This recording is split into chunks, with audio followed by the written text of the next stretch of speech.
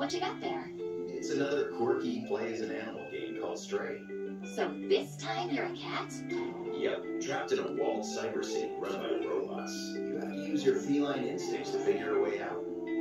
So you can just wander around doing cat-type things? Ooh, who's that? That's B12. He's a very useful little drone. Interesting. But what's the actual point of all this? Well, there's some platforming and puzzle solving along the way, it's mostly about exploration, collecting B12's lost memories, and finding your way back to the outside world.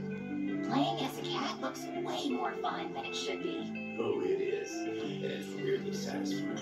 Well, you don't have to be a cat person or even a hardcore gamer to see this one special. You said it.